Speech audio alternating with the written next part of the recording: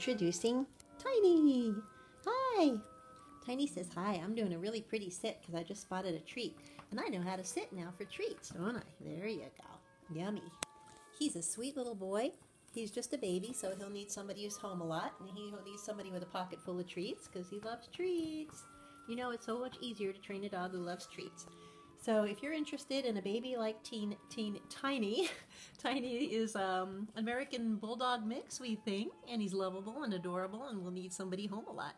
Contact us at info at luckydoganimalrescue.org because this little guy is all packed up and ready to go home. Aren't you, darling?